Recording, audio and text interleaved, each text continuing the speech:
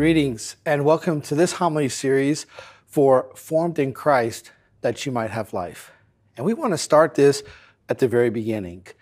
When we talk about the beginning of time, we speak of God as creator. That God has created all things, the heavens and the earth. And when we look at the account of creation, we see that God created things in a hierarchical manner. He built them, created them one after the other. So he starts with the fish, and he moves to the birds, and then he moves to the animals, and he crowns his creation with the human person. We are made in God's image and likeness, unlike all other creation. Because of that, we have special gifts the capacity for reason, the capacity to will. We don't live by instinct, we can choose. Also, at the very beginning, when we were created, we were given sanctifying grace. God's own life within us. We were also given what were called the preternatural gifts. Those preternatural gifts, it meant that we had infused knowledge. Imagine if you wanted to do something. You wanted to learn how to play golf, and instantly all the skills and abilities and knowledge you would need would be immediately given. We had that. We had infused knowledge. We had control over our passions. We didn't think that evil was somehow cool. We just knew that evil was evil. And we realized that and we stayed away from it. We had control over our passions. We also had an immortality of our body. Did you know, dear young people, that we were not supposed to get sick and we were not supposed to die? Those preternatural gifts were given to us with sanctifying grace at the beginning. But our first parents, let's go to this little apple here. Our first parents, God was so loving and so kind. He gave them each other, Adam and Eve.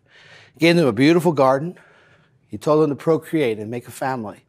He took care of them. They didn't have to work. The garden would take care of them.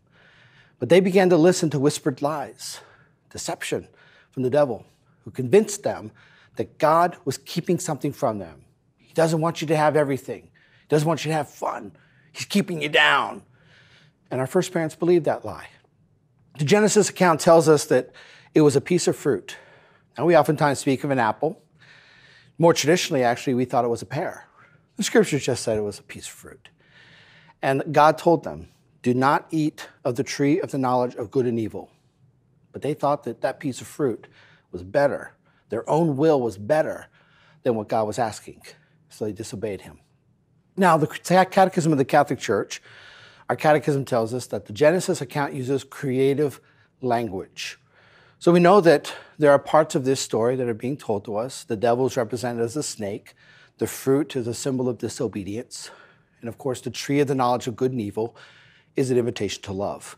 And we know that our first parents, not only did they eat a piece of fruit, but they listened to lies that slandered God and they rebelled against their loving Father. That was the first sin what we call the original sin. Now, we all bear the consequences of that because these were our first parents, they were the holders of human nature. We have a human nature, we bear the fault.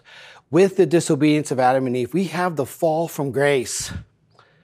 The most terrible thing that's ever happened in human history. It is described by the spiritual masters that our nature was a beautiful palace, and someone threw a grenade into the palace. The walls were able to sustain the blast, but all thing, everything inside, all the things inside were just thrown in complete disarray. Our human nature is wounded. It's still good, but it's wounded, deeply wounded, which means now we get sick and our bodies will die. Now we think that evil is good and good is evil. We have a fallenness and we're stuck in that fallenness. But the Lord Jesus comes to us as Savior. After preparing for his arrival, God the Son came in order to redeem us.